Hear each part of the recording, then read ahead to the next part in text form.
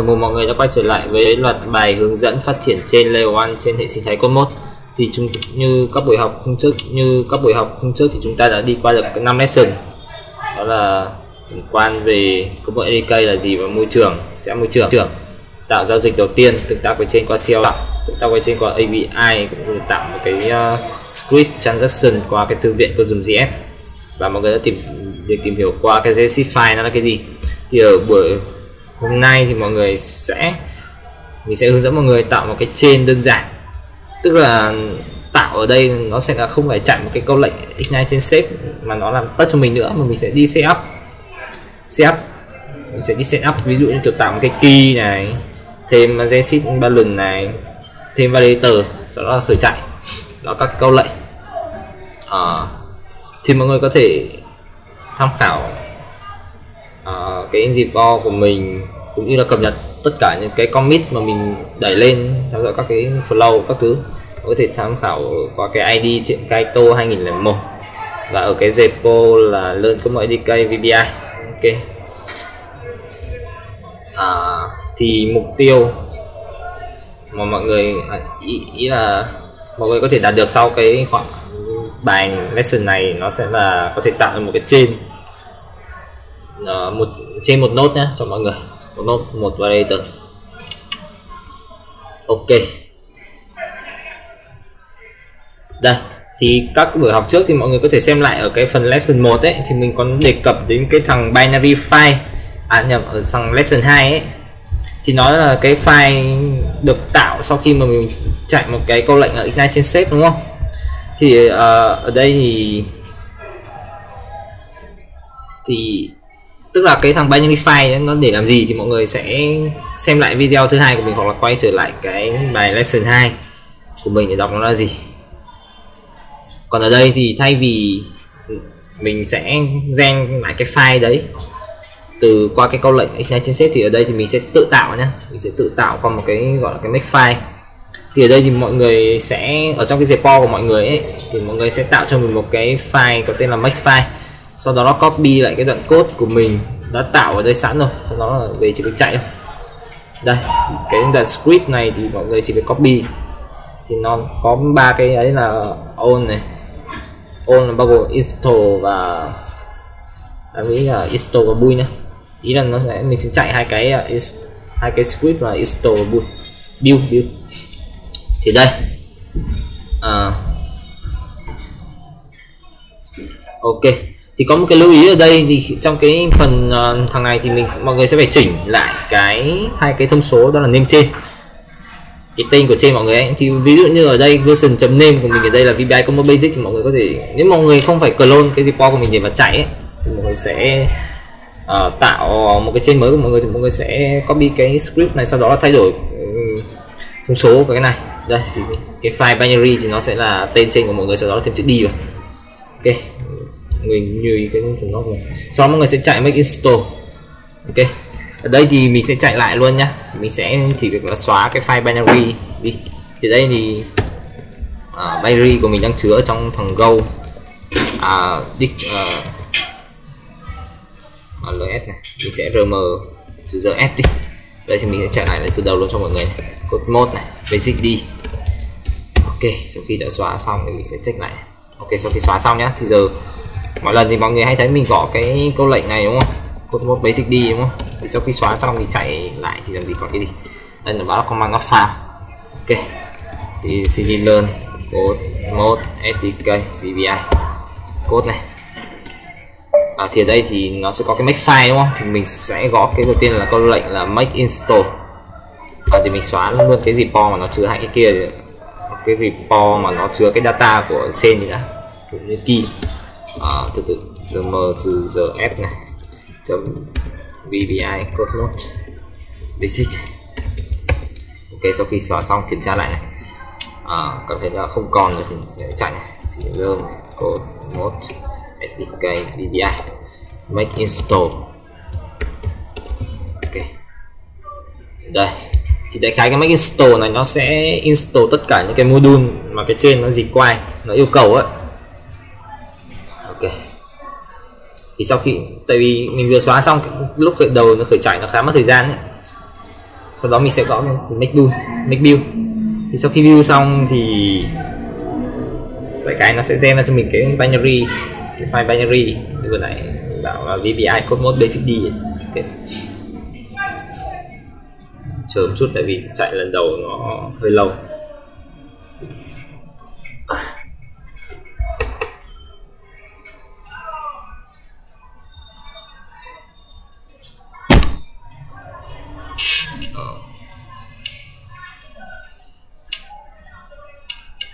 Sau khi chờ thì à, được rồi. Chúng ta make build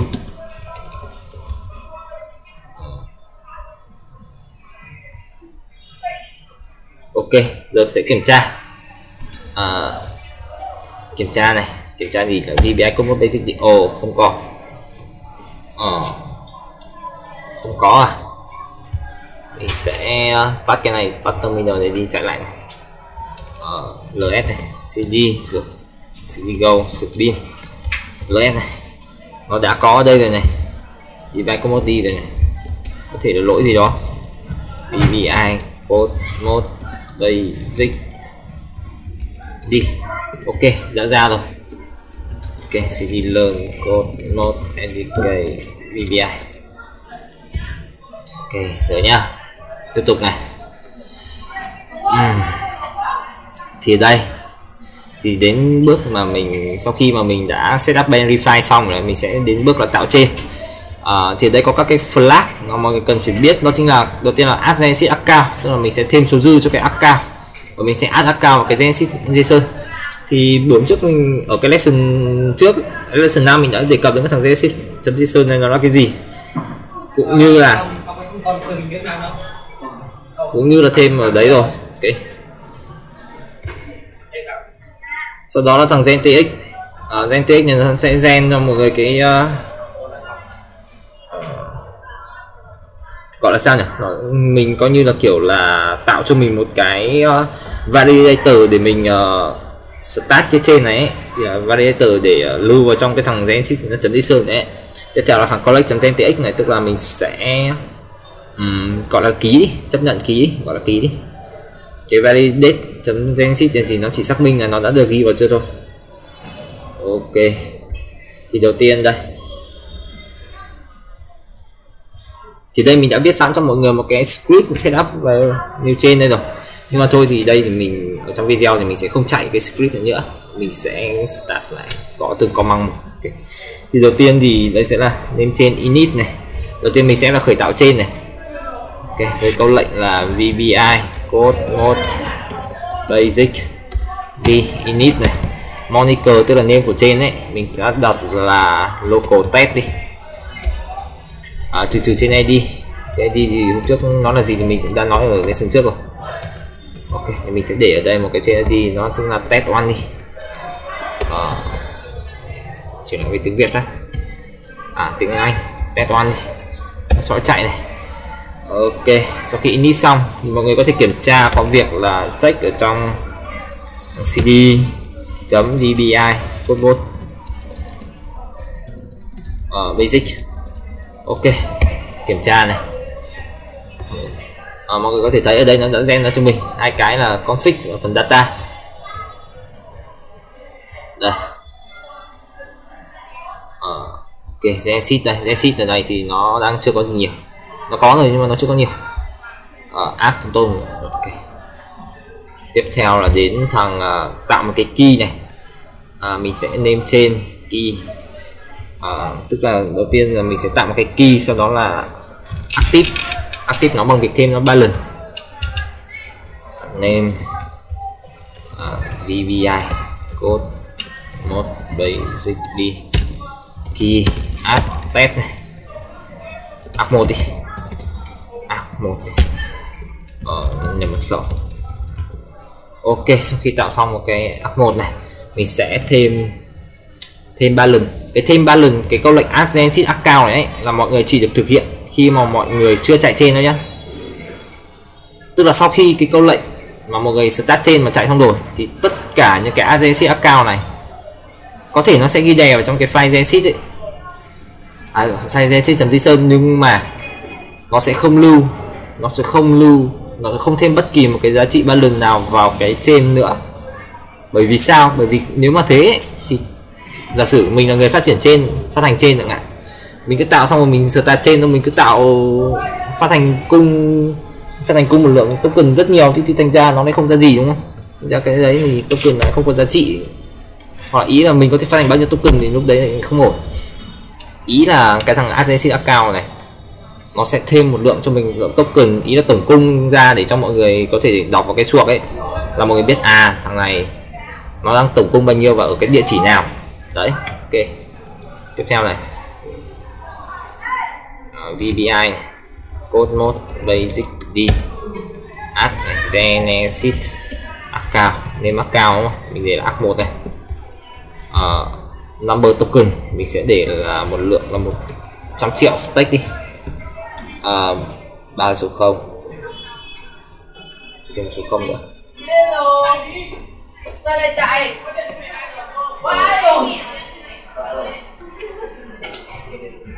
ba. Ừ, 100 triệu chưa? 100 triệu stake nhé mình sẽ để token của mình đây là stake đi. Add này. Ồ nó đang báo lỗi đi đây? Uh, key not found. App 1 not found uh, ok. App 1 not found query. Thì mình sẽ thêm địa chỉ vậy. Vì nó không nhận cái tên của mình. Thì đây mình sẽ thêm một cái address ở đây rồi ồ. Oh.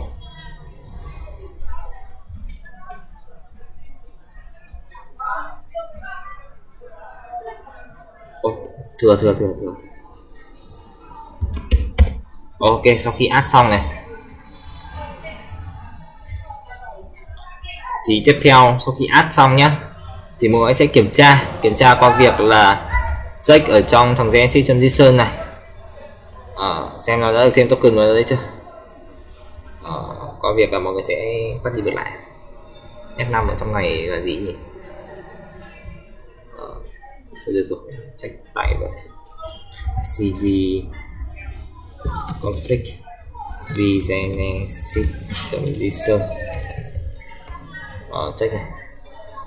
Đây thì mọi có thể thấy là một cái account mà mình đã được tạo rồi. Account và đã có một số dư balance ở đây. Check ở trong này rồi nó đã được ghi vào trong này rồi. À, tiếp theo thì mình sẽ um, thêm nó thành validator. Thì có một cái đặc biệt ở cái thằng này ấy đó chính là việc khi mà thêm validator để add vào cái thằng Genesis file này mọi người phải stake một lượng. Nó là 2 phần 3 cơ nó phải cộng 2 phần 3 ở cái bài sau về việc add validator cho việc khi mà on chain ấy sau khi on chain ấy thì nó sẽ không cần cái 2 phần 3 nữa. Thì lúc đấy thì người dùng tham gia mạng muốn stake bao nhiêu cũng được. Ok tiếp theo này. Collect gen tx này. À, đầu tiên sẽ là gen tx để thêm vào validator này.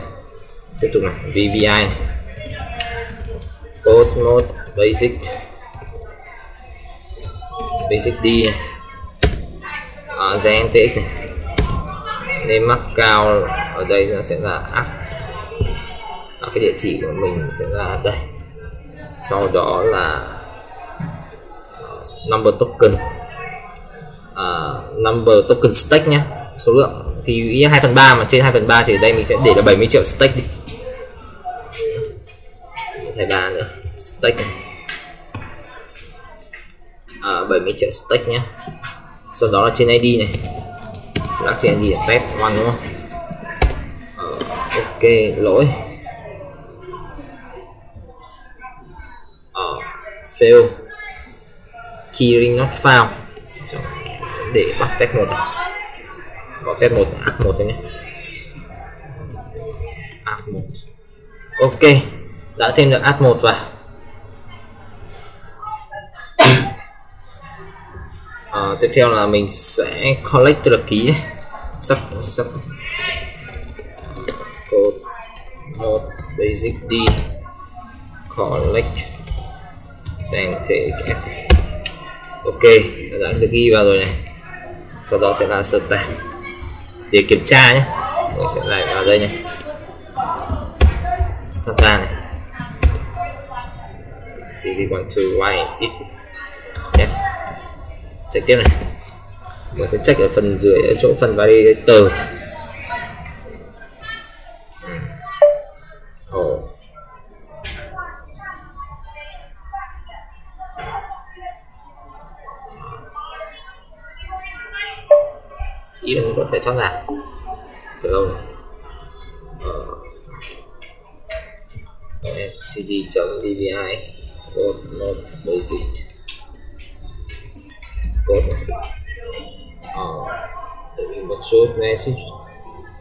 sẽ set cái for validator. Validator.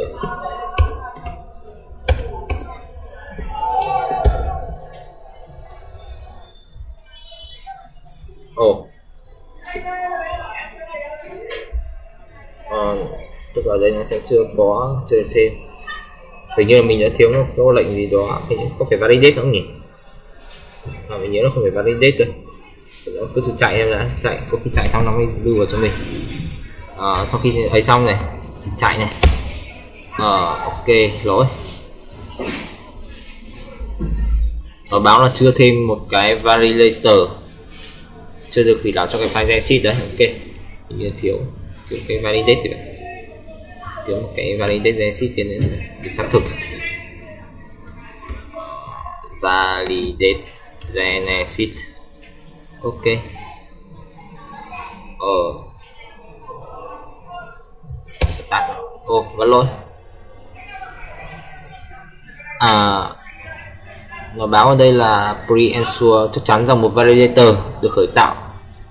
À, được khởi tạo với lượng stake à, với lượng token stake vào nó phải lớn hơn hoặc bằng cái mặc định default của nó là lớn 2 phần 3 2, 2 phần 3 ở ờ, thì mình sẽ kiểm tra lại nhé. Ờ. Ờ. Vừa nãy mình stake một lượng 70 triệu đúng không?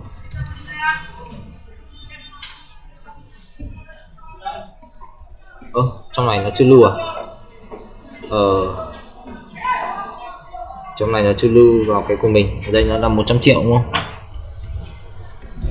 Address 6 giờ 1 69 giờ 1 này. Ok mình sẽ check này. Ờ, check lại nhá. Ờ sao có phải 69 giờ 1 không? Basic đi này. Local init này. Ở đây 69 giờ 1 đây. Key add này. Name là app 1 này. Dbi app 1 stack này.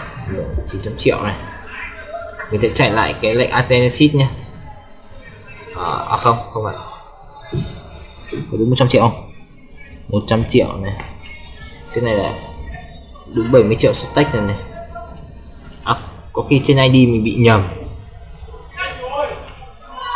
Trên ID test một đúng này à, trên ID sau khi đúng này. Gen tx này. Lỗi gì đây ta? Cái này lỗi, mình đã áp thành công nó ghi vào đây rồi. Trong phòng danh tích này. Nếu mà giờ mà chạy lại.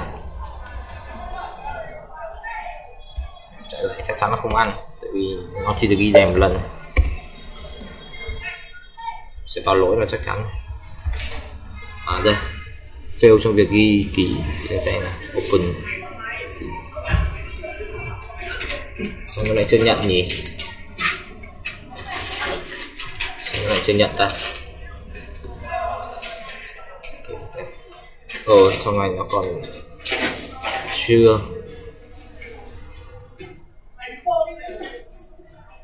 Ờ trong này nó còn chưa có cái file key của mình ở trong này cơ. Ờ nó còn chưa có cái keyring keyring ở trong này cho mình. Cd này. Ls chữ a thôi này.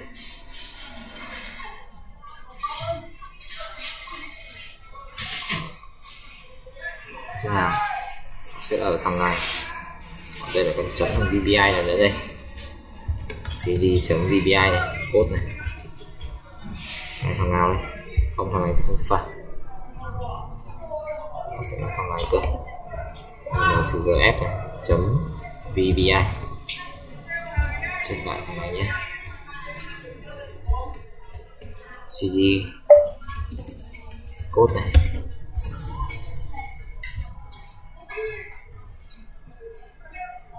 Đây thì báo mình là vay tờ chưa được thêm.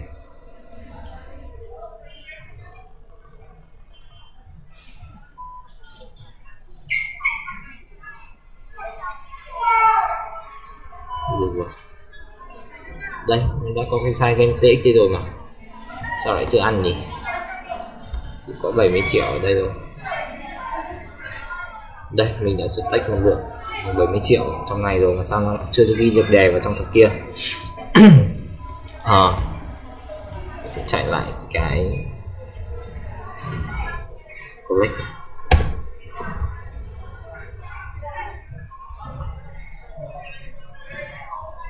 Tìm xem có cái thằng 70 triệu trong này chưa sai.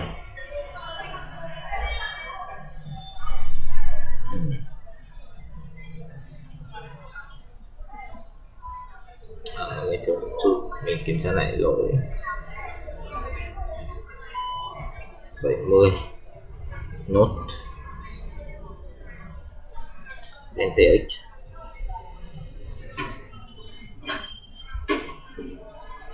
Press it out. Evidence. Guarantee. Validator. Đây, có validator rồi. Đây, có mouse rồi. Tại sao lại không ăn? Collect Ok, check lại xem nào. Check lại xem nào.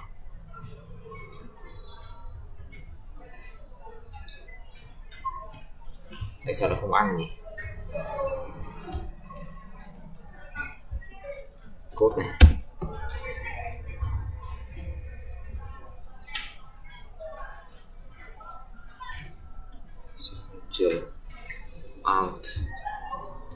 Check. À đây, có rồi.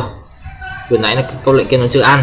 Ok, mọi người đây có thể thấy check ở trong file kia nó sẽ có cho mình là derivator address này, validator này. Tức là thằng derivator là thằng ủy quyền một lượng stack vào thằng validator ấy, và thằng validator này. Nó chính là cái địa chỉ này nhưng mà nó thay đổi cái ờ, cái đầu cái đầu địa chỉ ấy, thành developer. Ok, thế là được chạy được rồi đấy. Start nhá ồ oh, vẫn lỗi lỗi ờ, gì đây? Ờ, vẫn lỗi validate này. Start ờ vẫn lỗi. Không biết mình có bị thiếu số 0 nó không? Đây là 70 triệu đúng không? 70 triệu. Stake một lượng 70 triệu này.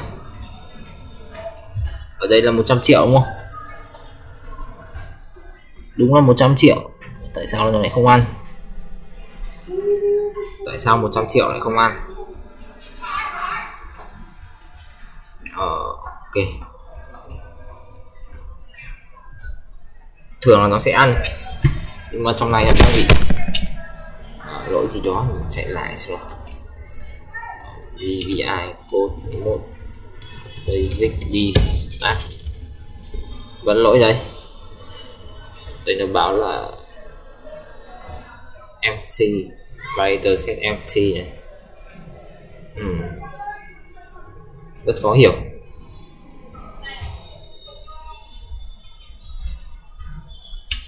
Ờ. Thôi thì mình sẽ chạy lại nhá. Mình sẽ chạy lại từ đầu này. Mình sẽ xóa lại cái file Genesis này đi này. Gõ lại từng cái một cho nó chắc cốt được chưa? Mình sẽ để 1 tỷ vào 700 triệu đi. Không, 2 phần 3 vẫn đúng rồi nhỉ? Ok, thì mình sẽ xóa lại cái ấy đi này. Rm trừ f này. Xóa cái file Genesis này đi này. À, à, mình chỉ xóa cái file Genesis này đi đâu. Cd vbi code node basic đi. Thôi, xóa mẹ đi. Xóa hết đi. Sử dụng f này. Vbi code node basic đi. Chấm basic.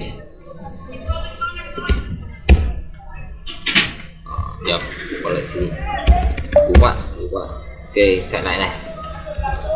À, chạy lại nha chạy lại nha. Đầu tiên sẽ là init trên này. Cd chấm cd learn code promote dk vbi đầu tiên sẽ là khởi tạo lại trên này. Vbi code mode đây xích đi init, tên trên là local path trên này đi. Ok, xong. Tạo một key này. Vbi key. Add path one. Sẽ tạo xong rồi này. Add rồi. Thêm một loại token này. Add genesis. Ba lần. Add genesis ba lần này. Một không không. Điểm một trăm triệu này. Điểm một tỷ. Ba. Một, hai, ba. Stake Genesis ba lần. Địa chỉ tài khoản đã. Đây mình sẽ để là thằng này đi.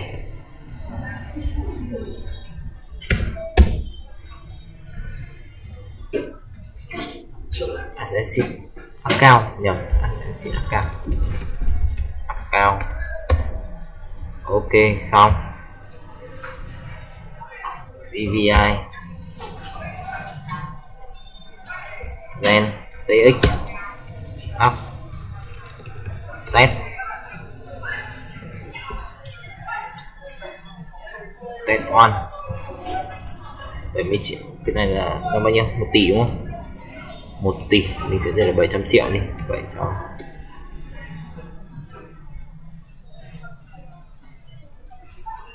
số tích trên ID test. Trên ID là gì? Trên ID là test, đúng không? Ok. Xong, ký này VVI collect. Dành TX tí cái, xong. VVI code node basic đi start. Ok nó đã chạy xong. Ok thì từ đây thì mọi người có thể tạo thêm uh, các cái giao dịch. Nãy thì mình không biết tại sao nó lại sai. Bây giờ lại chạy được. Cái này thì nó lỗi thường xuyên. Ok cùng chạy lệnh như thế. Ok như vậy là đã xong. Thì ok, nếu mà mọi người thấy video này giúp ích cho mọi người. Thì mọi người nhớ tặng cho mình một star ở trong dịp po. Hẹn mọi người, hẹn gặp lại mọi người ở video tiếp theo.